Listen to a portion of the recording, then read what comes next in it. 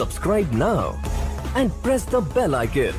Never miss an update. Hey guys welcome back to my channel यदि आप भी M user है और आपको यह प्रॉब्लम आ रही है कि टाइपिंग करते समय आपके टेक्स्ट ऑटोमेटिकली चेंज हो जाते हैं और आप ठीक से टाइपिंग नहीं कर पाते तो आप इस प्रॉब्लम को कैसे सॉल्व कर सकते हैं?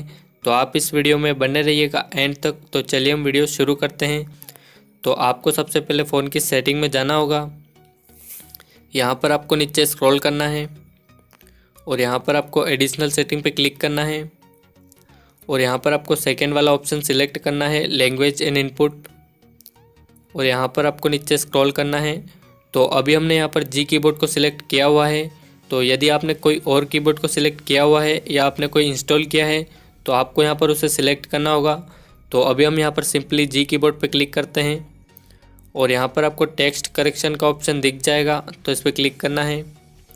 और आपको यहाँ पर नीचे स्क्रॉल करना है तो यहाँ पर आपको करेक्शन का ऑप्शन दिख जाएगा ऑटो करेक्शन तो अभी यहाँ पर ये यह चालू है तो अभी हम इसे ऑफ़ करते हैं।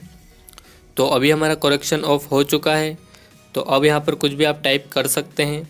तो अभी ऑटोमेटिकली चेंज नहीं होगा। तो बस आज की इस वीडियो में इतना ही।